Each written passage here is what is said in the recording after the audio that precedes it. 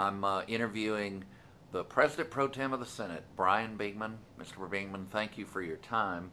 Uh, talk to us about the Republican Senate agenda on uh, jobs and the economy for this session. Certainly, we're uh, excited to start the session, and uh, when we talk about the Republican Senate agenda, um, it's going to be mainly pro-growth, um, jobs-oriented.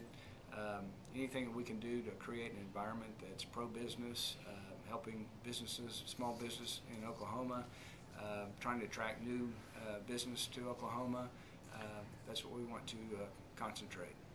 Um, the uh, talk about the tax cut proposal and where you think the caucus is on that. I think when you talk about reducing the income tax, we want to be take a aggressive uh, but responsible approach to um, uh, looking at the income tax, um, think uh, you know there's several measures that have been filed out there, and we're going to be very um, uh, judicious as we look at um, you know the uh, income tax, but we want to um, make sure that uh, we can um, take take money and put it back in the in pockets of hard-earned income of Oklahomans.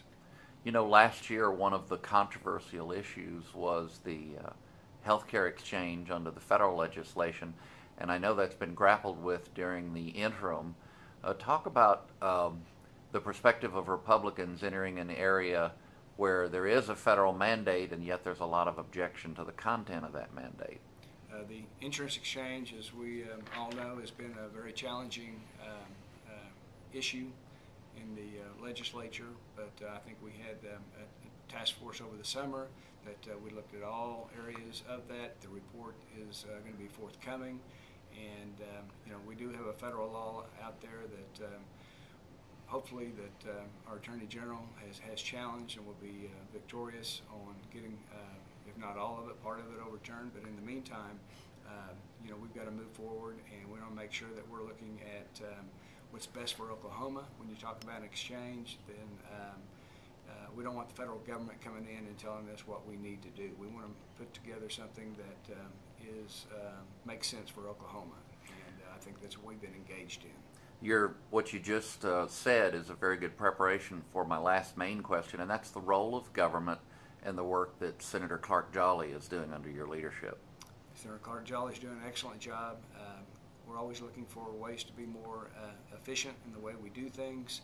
Um, you know, money's been tight. You know, agencies have taken uh, some massive cuts over the last three years, so we want to make sure that we're um, exploring the best practices and the best way to um, you know, get our job done. And again, looking at the role of government, um, want to make sure we can, you know, it's a right size and and take care of the core areas that we need to, um, you know, address and make sure that, um, you know, any efficiencies that we can do, uh, do more with less. You know, those are some areas that we're going to concentrate. Any uh, concluding thoughts on the Republican agenda for this session? I think um, you know we're all excited about it. We're in day two of the uh, session, and um, I think we're um, you know a lot of challenges out there, but we look at it with for uh, you know look at it as opportunities. Thank you for your time, sir. Thank you.